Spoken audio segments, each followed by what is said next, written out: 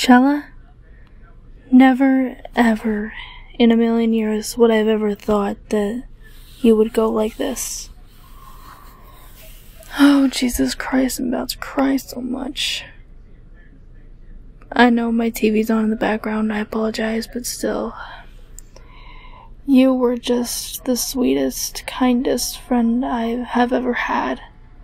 The best sister to Ronnie and Agershak, and in general, just the best person we ever could have met. And I just have no words other than thank you. Thank you for all that you've done. For me, for sticking with me through when I got the cops called on me, or when, you know, the police situation went down. For sticking with me through Lady Noir's breakup, through Molly's breakup, stuck with me through everything. And thank you for that. I just. I. Like, I knew that the time was coming, but I never thought that it would come today or come this way. Thanks to that, sure. Thanks to John. I'm so sorry.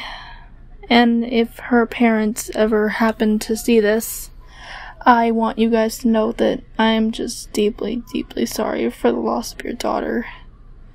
And to Agershak and Ronnie, I'm so sorry, you guys.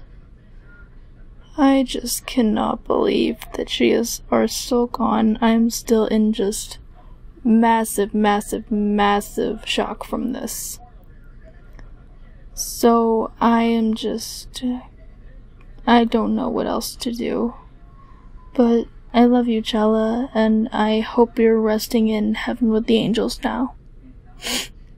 Oh, jeez. Dang it, my TV is still on in the background. I'm sorry, but anyway, I'm gonna sign off now. So I will see you guys later. Chella, see you in heaven someday, girl. I love you.